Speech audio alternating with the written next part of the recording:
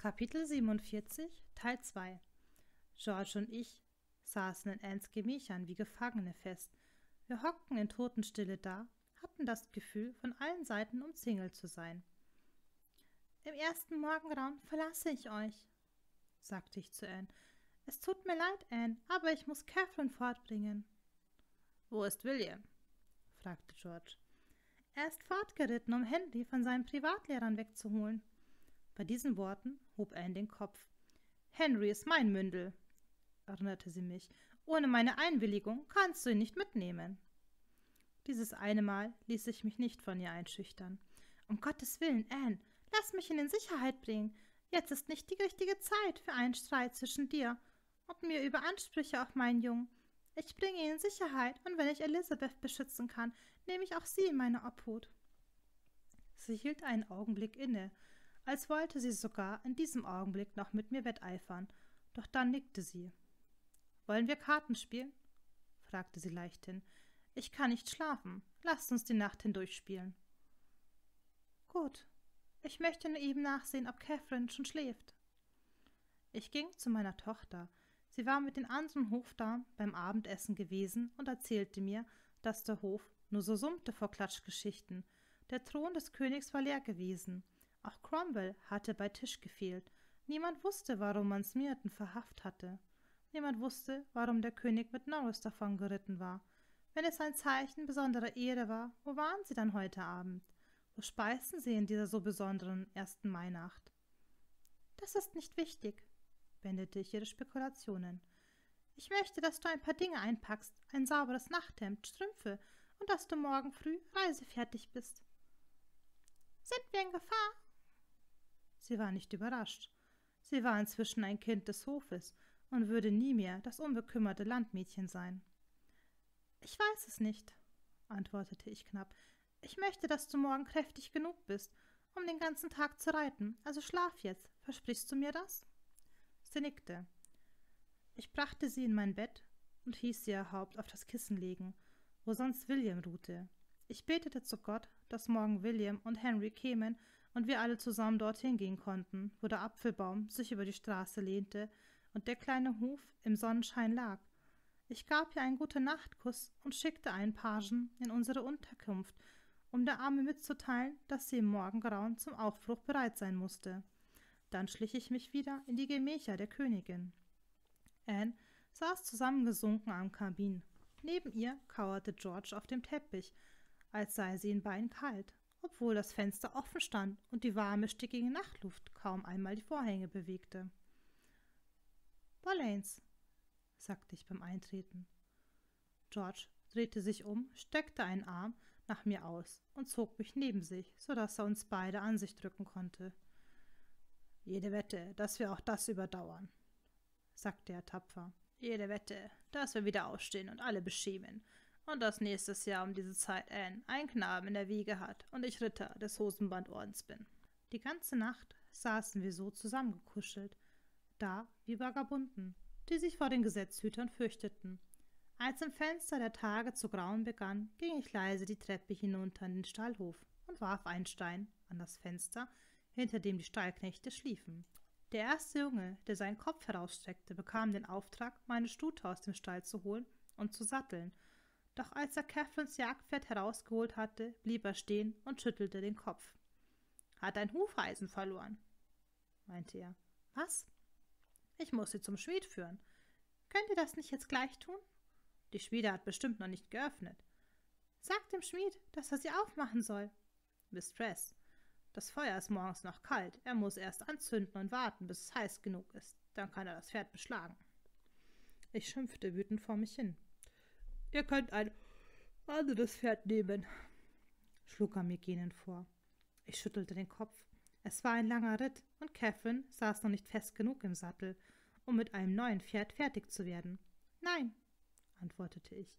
Wir müssen warten, bis die Stute reisebereit ist. Nehmt sie mit zum Schmied, weckt den Mann und lasst ihn das Pferd beschlagen. Dann kommt mich holen, wo immer ich auch sein mag, und sagt mir leise, dass sie bereit ist, und verkündet es auf keinen Fall den ganzen übrigen Palast. Ich schaute ängstlich zu den dunklen Fenstern hinauf. Ich will nicht, dass alle Narren auf der großen weiten Welt wissen, dass ich heute ausreite. Er zupfte an seiner Stirnlocke und streckte mir fordernd die Hand hin. Ich ließ eine Münze aus meiner Tasche in seine schmutzige Handfläche gleiten. Ihr bekommt noch eine, wenn ihr euren Auftrag gut ausgeführt habt. Ich ging in den Palast zurück. Der Wachposten am Tor fragte sich wohl, was ich vorhatte, da ich im Morgengrauen schon wieder von draußen hereinkam. Ich wusste, er würde irgendjemanden Bericht erstatten. Sekretär Cromwell, vielleicht meinem Onkel oder Sir John Seymour, der inzwischen so hoch aufgestiegen war, dass er sicherlich auch überall seine Spione hatte. Auf der Treppe zögerte ich. Ich wollte zu Catherine gehen, die in meinem großen Bett schlummerte. Doch unter der Tür zu den Gemächern der Königin war Kerzenschein zu sehen, und ich hatte das Gefühl, dass ich zur Nachtwache meiner Schwester und meines Bruders gehörte. Der Posten machte einen Schritt zur Seite und ich öffnete die Tür und schlüpfte ins Zimmer. Sie waren immer noch wach, saßen eng nebeneinander im Feuerschein, flüsterten einander tröstende Worte zu. Sie wandten beide den Kopf, als sie mich kommen hörten. Du bist noch nicht fort? fragte Anne. Catherines Pferd hat ein Hufeisen verloren. Ich konnte nicht weg. Wann reitet ihr los? Sobald die Stute beschlagen ist. Ich habe einen Jungen dafür bezahlt, dass er mit ihr zum Schmied geht und mir Bescheid gibt, sobald sie reisefertig ist. Ich setzte mich zu ihnen auf den Teppich vor dem Kamin.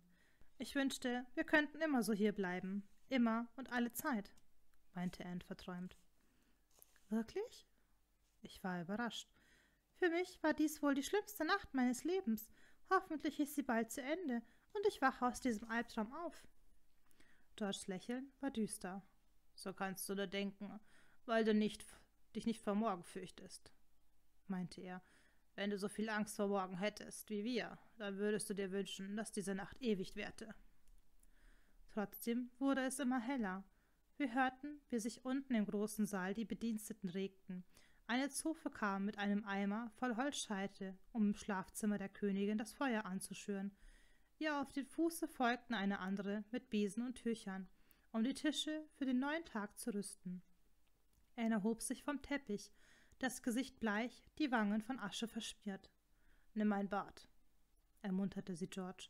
Es ist noch früh. Lass dir ein heißes Bad bereiten und wasch dir das Haar. Dann fühlst du dich bestimmt viel besser. Sie lächelte über diesen banalen Vorschlag, nickte aber schließlich. George küsste sie. Ich sehe dich in der Frühmesse, sagte er und verließ das Zimmer. Wir hatten unseren Bruder das letzte Mal als freien Mann gesehen. George erschien nicht zur Frühmesse. Anne und ich, rosig vom Bad und etwas selbstsicherer, hielten nach ihm Ausschau. Aber er war nicht da. Sir Frances wusste nicht, wo er sich aufhielt, auch Sir William Barrett nicht. Henry Norris war noch nicht wieder aus London zurückgekehrt. Es gab keine Neuigkeiten darüber, welche Anklage man gegen Mark Smeaton erhoben hatte. Wieder legte sich die Last der Furcht schwer auf uns. Ich schickte einen Boten zur Amme meines Kindes, Sie sollte sich bereithalten. Wir würden innerhalb der nächsten Stunde abreisen. Ein Tenniswettbewerb sollte stattfinden und Anne hatte versprochen, den Preis zu überreichen. Sie ging zu den Plätzen hinunter und setzte sich unter dem Baldachin. Ich stand hinter ihr und hielt Ausschau nach dem Stalljunge, der mir berichten sollte, dass die Pferde bereit waren. Catherine neben mir erwartete nur auf ein Wort von mir, um mir auf die Zimmer zu rennen und ihr Reitkleid anzulegen als hinter mir zwei Soldaten mit einem Offizier in die königliche Loge traten. Kaum hatte ich sie gesehen, da erfüllte mich eine böse Vorahnung. Ich machte den Mund auf, um zu sprechen, aber es kam kein Laut heraus. Stumm berührte ich Anne an der Schulter. Sie blickte zu mir auf, dann in die harten Gesichter der drei Männer. Sie verneigten sich nicht, wie es sich hätte tun sollen. Das bestätigte unsere schlimmste Befürchtung. Der Stadtrat, fordert eure Anwesenheit, Majestät, sagte der Offizier knapp. Anne sagte nur Oh und erhob sich. Sie schaute zu Catherine und mir, blickte reihum ihre Damen an. Plötzlich wandten alle die Augen ab, wollten ihr bloß nicht ins Gesicht sehen, waren vom Tennisspiel fasziniert. Das hatte sie von Anne gelernt. Ihre Köpfe bewegten sich nach rechts und nach links, folgten dem Ball, während ihre Augen blind waren – sie ihre Ohren gespitzt hielten und ihre Herzen pochten, weil sie fürchteten, sie könnten sie bitten mitzukommen. Ich brauche Begleiterinnen, sagte er tonlos. Nicht eines der kleinsten Biester schaute zu ihr hin. Eine Hofdame muss mit mir kommen. Ihre Augen fielen auf Catherine. Nein, fuhr ich plötzlich dazwischen, als ich begriff, was sie vorhatte. Nein, Anne, nein, ich flehe dich an. Ich darf eine Begleitung mitnehmen, fragte sie den Hauptmann. Ja, Majestät. Ich entscheide mich für meine Hofdame Catherine, sagte sie. Dann ging sie ruhig durch das Tor, das ihr eine der Soldaten aufhielt. Catherine warf mir einen verwirrten Blick zu und folgte der Königin. Catherine, sagte ich im scharfen Ton. Sie blickte sich zu mir um, wusste nicht, was sie machen sollte. Das arme Mädchen. Komm schon, sagte Anne mit völlig ausdrucksloser Stimme. Catherine warf mir ein kleines Lächeln zu. Sei unverdrossen, sagte sie plötzlich seltsamerweise, als spiele sie eine Rolle in einem Theaterstück. Dann folgte sie der Königin mit der vollendeten Haltung einer Prinzessin. Ich war zu entsetzt, um irgendetwas anderes zu tun, als ihnen hinterherzuschauen. Doch sobald sie mir aus den Augen waren, raffte ich meine Röcke hoch und rannte den Weg zum Palast hinauf, um George oder meinen Vater zu suchen, irgendjemanden, der Anne helfen, der Catherine wegnehmen und das Mädchen sicher zu mir zurückbringen konnte. Ich lief in den großen Saal. Plötzlich hielt mich ein Mann auf. Ich schob ihn zur Seite, ehe ich merkte, dass er der Einzige war, den ich herbeisehnte. William. Liebste, meine Liebste, du weißt es also. Oh Gott, William, Sie haben Catherine mitgenommen. Sie haben mein Mädchen. Catherine verhaftet. Mit welcher Begründung? Nein, sie ist bei Anne als Hofdame. Anne wurde von dem Stadtrat befohlen. In London. Nein, er tagt hier. Er ließ mich sofort los, fluchte kurz, ging ein halbes Dutzend Schritte im Kreis, dann packte er mich bei den Händen. Wir müssen einfach warten, bis sie wieder herauskommt. Er musterte mein Gesicht. Schau nicht so, Mary. Catherine ist ein junges Mädchen. Sie befragen die Königin, nicht Sie. Sie reden wahrscheinlich nicht einmal mit ihr. Und wenn, dann hat sie nichts zu verbergen. Ich holte tief Luft und nickte. Nein, sie hat nichts zu verbergen. Sie hat nichts gesehen, was nicht allgemein bekannt werde. Wo ist Henry? In Sicherheit. Ich habe ihn in unserer Unterkunft zurückgelassen, zusammen mit der Amme und der Kleinen. Ich dachte, du kämst wegen deines Bruders gerannt. Was ist mit ihm? fragte mit heftig pochendem Herzen. Was ist mit George? Sie haben ihn verhaftet. Zusammen mit Anne? meinte ich. Damit er dem Stadtrat Rede und Antwort steht? Williams Miene war finster. Nein, antwortete er. Sie haben ihn in den Tower gebracht. Henry Norris ist bereits dort. Der König selbst hat ihn mit ihm gestern zum Tower geritten. Und Mark Smitten, du erinnerst dich an den Sänger, der ist auch da eingesperrt. Ich brachte kein Wort heraus. Aber wie lautet die Anklage? Warum befragen Sie die Königin hier? Er zuckte die Schultern. Ich weiß es nicht. Wir mussten bis zum Mittag warten, ehe wir weitere Neuigkeiten erfuhren. Ich hielt mich im Flur vor dem Gemach auf, in dem der Staatsrat die Königin befragte. In den Vorraum ließ man mich nicht, weil man fürchtete, ich würde an der Tür lauschen. Ich will nicht lauschen, ich will nur meine Tochter sehen, erklärte ich dem Wachtposten. Er nickte, winkte mich aber von der Schwelle fort. Kurz nach Mittag ging die Tür auf. Ein Page trat heraus und flüsterte dem Wachposten etwas zu. Ihr müsst gehen, sagte er zu mir. Ich habe Befehle, den Ausgang zu räumen. Warum? fragte ich. Ihr müsst gehen, wiederholte er stur. Er rief etwas die Treppe hinunter in den großen Saal und bekam von unten eine Antwort zugebrüllt. Sanft schoben sie mich zur Seite, fort von der Tür zu den Räumen des Stadtrats, weg von der Gartentür und dann aus dem Garten. Alle anderen Höflinge, die wir unterwegs trafen, wurden ebenfalls zur Seite gedrängt. Wir taten alle, was man uns gebot. Es war, als hätten wir erst jetzt begriffen, wie mächtig der König war. Ich bemerkte, dass man einen Weg zum Sitzungsraum des Staatsrats bis zur Treppe zum Fluss geräumt hatte. Ich rannte zum Landessteg, wo die gewöhnlichen Menschen an Land gingen, wenn sie in den Palast mussten. An diesem Steg waren keine Wachen, Niemand hinderte mich daran, mich seine äußerste Kante zu stellen und mit zusammengekniffenen Augen auf die Palasttreppe von Greenwich zu schauen. Ich sah sie ganz deutlich. Anne in ihrem blauen Gewand, das sie auf der Tennistribüne getragen hatte. Catherine einen Schritt hinter ihr in ihrem gelben Kleid. Ich war froh, dass sie einen Umhang dabei hatte, falls es auf dem Fluss kalt sein würde, und schüttelte dann den Kopf über mich, weil ich mir Sorgen machte, sie könnte sich erkälten während ich nicht einmal wusste, wohin man sie brachte. Ich schaute gebannt hinüber, als könnte ich mein Kind dadurch schützen. Sie würde in der Barke des Königs fahren, nicht im Boot der Königin. Wohin bringt man euch? schrie ich so laut ich konnte, unfähig, meine Furcht noch länger zu unterdrücken. Er hörte mich nicht, aber ich bemerkte, wie Catherine ihr blasses Gesicht in meine Richtung wandte und mich überall in den Palastgärten suchte. Hier, hier, brüllte ich noch lauter und winkte. Sie entdeckte mich, hob ein wenig die Hand, dann folgte sie Anne. Kaum waren sie an Bord, da stießen die Soldaten das Boot schon vom Ufer ab. Durch die plötzliche Bewegung wurden die beiden auf die Sitze geschleudert, und ich verlor sie einen Augenblick aus den Augen. Dann erblickte ich sie wieder. Catherine saß auf einem kleinen Stuhl neben Anne und schaute über das Wasser hinweg zu mir herüber. Die Ruderer manövrierten die Barke auf den Fluss und kamen dank der steigenden Flut mühelos voran. Ich versuchte nicht noch einmal zu rufen, denn ich wusste, dass der Trommelschlag der Ruderer meine Stimme übertönen würde. Ich wollte Catherine nicht erschrecken. Ich stand still da, hob nur die Hand, um mir mitzuteilen, dass ich wusste, wo sie sich befand und wohin sie unterwegs war, und dass ich so schnell wie möglich holen würde. Ich spürte, dass William hinter mir stand. Auch er grüßte unsere Tochter mit erhobenem Arm. Wohin bringen Sie die beiden wohl? Was meinst du? fragte er, als wüsste er die Antwort nicht ebenso gut wie ich. Du weißt, wohin, erwiderte ich. Warum fragst du? An den schlimmsten Ort, den wir uns vorstellen können, in den Tower. William und ich verschwendeten keine Zeit. Wir gingen unverzüglich in unsere Gemächer, warfen ein paar Kleidungsstücke in eine Tasche und eilten zu den Ställen. Dort wartete Henry mit den Pferden, umarmte mich kurz und lächelte mir strahlend zu, ehe mir William in den Sattel half und selbst aufs Pferd stieg. Wir nahmen Catherines frisch geschlagene Stute mit. Henry führte sie neben seinem eigenen Jagdpferd, während William das gedrungene Pferd der Amme am Zügel hielt. Sie wartete schon auf uns, und bald hatten wir ihnen den Sattel geholfen und ihr das Kind sicher vor die Brust gebunden.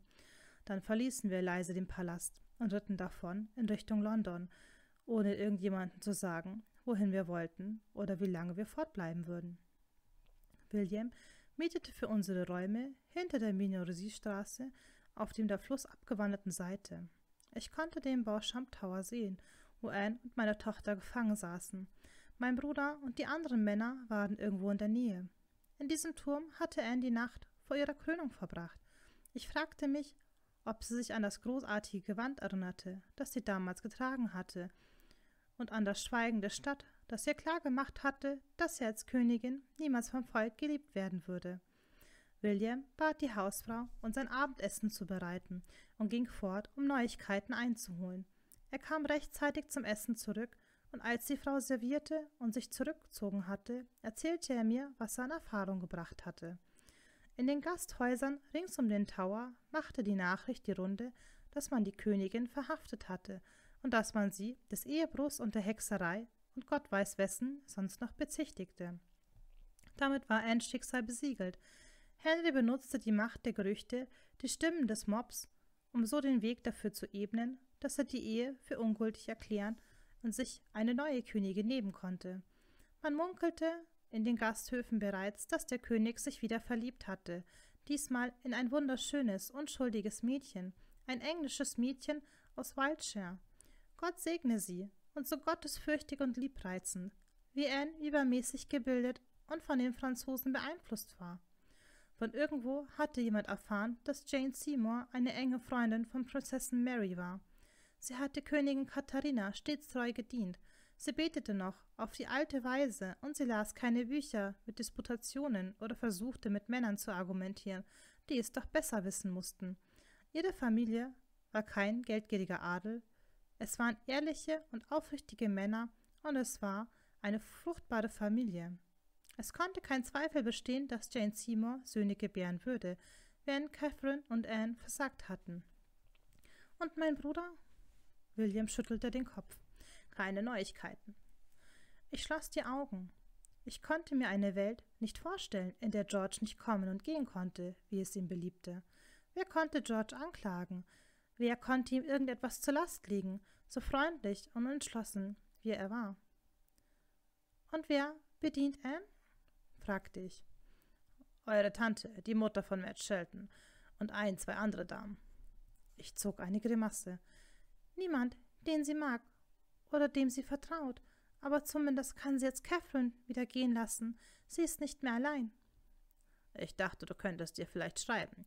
Sie darf Briefe empfangen, wenn diese nicht versiegelt sind. Ich gebe dein Schreiben William Kingston, dem Kommandanten des Tower, und bitte ihn, es ihr zu überbringen.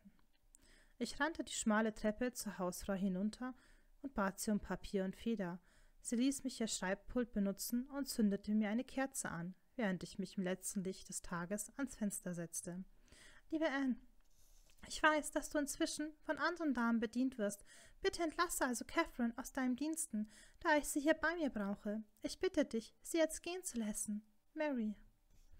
Ich ließ ein wenig Wachs von der Kerze auf den Brief tropfen und drückte meinen Siegelring hinein, um das B für Boleyn zu prägen.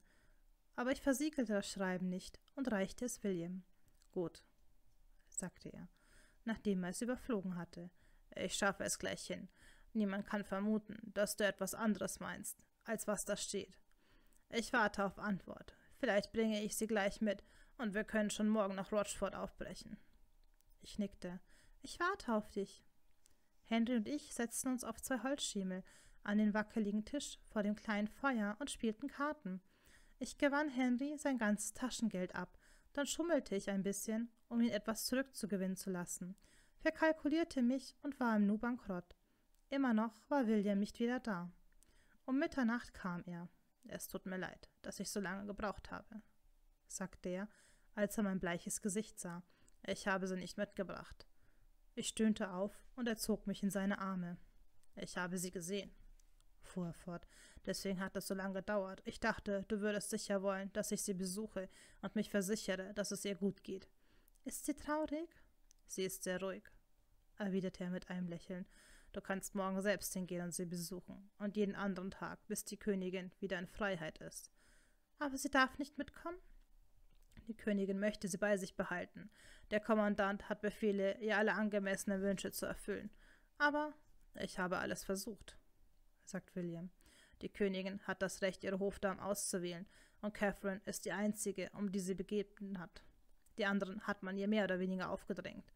Eine ist die Frau des Kommandanten, die alles ausspionieren soll, was Anne sagt. Und wie geht es Catherine? Du wärst stolz auf sie. Sie lässt dich ganz herzlich grüßen. Sie möchte gern bleiben und die Königin bedienen. Anne sei krank und schwach und weinte viel, sagte sie, und sie möchte bei ihr bleiben, solange sie ihr helfen kann. Ich war erfüllt von Liebe und Stolz, aber auch von Ungeduld. Sie ist noch ein junges Mädchen und hat dort nichts verloren. Sie ist eine junge Frau, meinte William. Sie tut ihre Pflicht, wie es sich für eine junge Frau gehört, und sie ist nicht in Gefahr. Niemand wird sie irgendetwas fragen. Allen ist klar, dass sie nur zu Annes Gesellschaft im Tower ist. Es wird ihr deswegen kein Leid zugefügt. Und Anne wird angeklagt? William schaute zu Henry herüber und kam zu dem Schluss, dass er alt genug war, um die Wahrheit zu erfahren. Es sieht so aus, als wollte man Anne der Unzucht und des Ehebruchs bezichtigen. Weißt du, was Unzucht ist, Henry? Der Junge errötete ein wenig ja, Sir, es, es steht in der Bibel. Ich glaube, dass diese Anschuldigung gegen deine Tante nicht begründet ist, sagte William nüchtern. Aber es ist eine Anklage, die der Staatsrat beschlossen hat, gegen sie vorzubringen. Endlich begriff ich. Und die anderen, die auch verhaftet wurden, werden die zusammen mit ihr angeklagt? William nickte mit verkniffenem Mund. Ja, Henry Norris und Mark Smearton werden angeklagt, ihre Liebhaber gewesen zu sein. Aber das ist doch Unsinn, erwiderte ich gerade heraus. William nickte. Und mein Bruder verhören Sie ebenfalls? Ja, antwortete er. Irgendetwas an seinem Ton beunruhigte mich. Sie werden ihn doch nicht foltern? fragte ich. Sie tun ihm doch nichts weh. Oh nein, versicherte William mir. Sie werden nicht vergessen, dass er ein Adliger ist. Sie werden ihn im Tower behalten, werden sie ihn und die anderen befragen. Aber was werfen Sie ihm denn vor? Das gleiche wie den anderen Männern. Ein Augenblick lang verstand ich nicht, was er meinte. Dann sprach ich es aus. Unzucht und Ehebruch? Er nickte. Ich schwieg. Erst wollte ich alles laut bestreiten, doch dann erinnerte ich mich an Anns übermäßigen Wunsch, einen Sohn zu gebären, an ihre Gewissheit, der König könnte ihr kein gesundes Kind mehr schenken. Ich erinnerte mich daran, wie sie eng an George geschmiegt dastand und ihm erklärte, man könnte nicht der Kirche die Entscheidung überlassen, was Sünde sei und was nicht. Und da hatte er erwidert, er wäre wahrscheinlich schon vor dem Frühstück zehnmal mit dem Bann belegt worden. Und sie hatte darüber gelacht. Ich wusste nicht, was Anne in ihrer Verzweiflung alles versucht hatte. Ich wusste nicht, was George in seiner Furchtlosigkeit alles gewagt hatte. Wie auch früher schon, verbannte ich die Vorstellung aus meinen Gedanken. Was sollen wir machen? fragte ich. William legte den Arm um unseren Sohn und lächelte zu ihm herab. Henry reichte seinem Stiefvater inzwischen bis zur Schulter. Er blickte vertrauensvoll zu ihm auf. Wir warten, erklärte William. Sobald das Durcheinander sich gelichtet hat, holen wir Catherine und reiten nach Hause, nach Rochford. Und dann halten wir uns eine Weile bedeckt, ob Anne nun verstoßen wird oder ob man ihr erlaubt, in einem Kloster oder im Exil zu leben. In jedem Fall ist die Zeit der Bollains erst einmal vorüber. Für dich, meine Liebe, geht es jetzt wieder ans Käsemachen. Am nächsten Tag gab ich der Arme frei und ermunterte William und Henry, in der Stadt spazieren zu gehen und in einer Bierschenke zu essen, während ich zu Hause blieb und mit der Kleinen spielte. Am nächsten Nachmittag unternahm ich mit ihr einen Spaziergang hinunter zum Flussufer. Wieder zu Hause badete ich sie und ließ sie in der Obhut der Amme zurück, als ich nach dem Abendessen mit William und Henry zum großen Tor des Tower ging. Wir baten Catherine sehen zu dürfen. Sie wirkte winzig klein, wie sie da beim Beecham Tower an der inneren Befestigungsmauer entlang zum Tor kam. Aber sie ging wie ein Boleyn-Mädchen, als gehörte ihr der Palast. Hoch erhobenen Hauptes blickte sie um sich, warf einen der Wachleute ein freundliches Lächeln zu und strahlte mich dann durch das Gitter hindurch an, während man die kleine Nebenpforte im großen Eingangstor aufsperrte und sie hinausließ. Ich schloss sie fest in die Arme. Meine Liebe. Sie umklammerte mich und sprang dann zu Henry. Hen! Cat! Sie schauten einander begeistert an. Gewachsen, sagte sie. Wetter geworden, erwiderte er. William lächelte mir über ihr Köpfchen weg zu. Glaubst du, die beiden reden mal in ganzen Sätzen?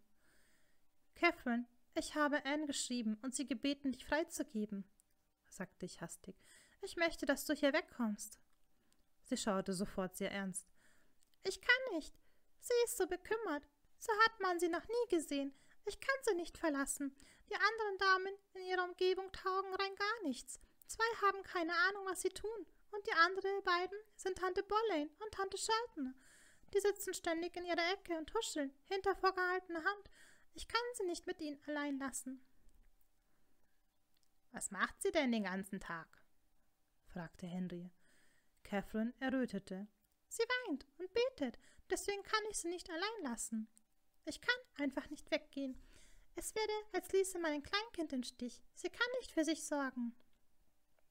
Bekommst du denn genug zu essen? fragte ich mutlos. Wo schläfst du? Bei ihr, erwiderte Catherine. Aber sie schläft kaum. Wir essen beinahe so gut wie bei Hof. Es ist in Ordnung, Mutter, und es ist ja nicht für lange. Woher weißt du das?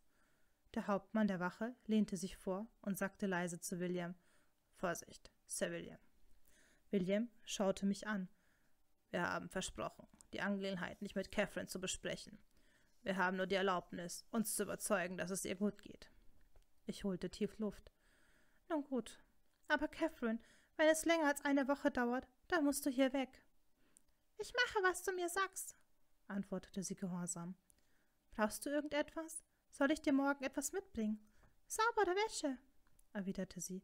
Und die Königin braucht noch ein, zwei andere Kleider. Kannst du sie aus Greenwich holen? Ja, sagte ich resigniert. Es schien mir, als hätte ich mein gesamtes Leben damit verbracht, für Anne Botengänge zu erledigen. Sogar jetzt, in dieser großen Krise, musste ich noch nach ihrer Pfeife tanzen. William schaute den Hauptmann der Wache an. Erlaubt ihr das, Herr Hauptmann, dass meine Frau Wäsche und Kleider für die Damen bringt? Ja, Sir, antwortete der Mann. Er tippte an seine Mütze. Natürlich. Ich lächelte bitter. Niemand hatte je eine Königin ohne Anklage und Beweise ins Gefängnis gesteckt. Es war für ihn schwer zu ermessen, was er um seine eigene Sicherheit willen tun oder lassen sollte. Ich drückte Catherine noch einmal an mich.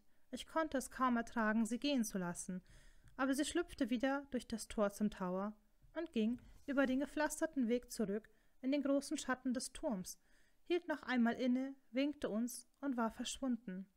William hob zum Gruß die Hand und drehte sich dann zu mir. An einem hat es euch Bollens ja nie gefehlt, und das ist ein völlig irrwitziger Mut, sagte er. Wenn ihr Pferde wärt, würde ich mir niemals eine andere Rasse halten. Ihr überspringt jede Hürde. Aber als Frauen seid ihr einfach eine unglaublich schwierige Gefährtinnen.